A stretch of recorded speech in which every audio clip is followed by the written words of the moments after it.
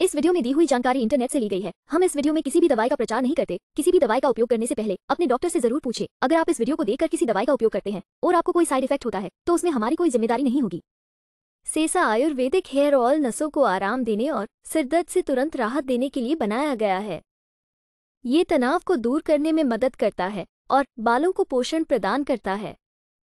इसके अलावा ये रूसी और जू को रोकने में मदद करता है। चलिए जानते हैं इसके कुछ फायदों के बारे में। एक, इस केश तेल में भिगोई हुई मधुपर्णी इंद्रवृणी और जाति नसों को आराम देगी और सिरदर्द से तुरंत राहत प्रदान करेगी।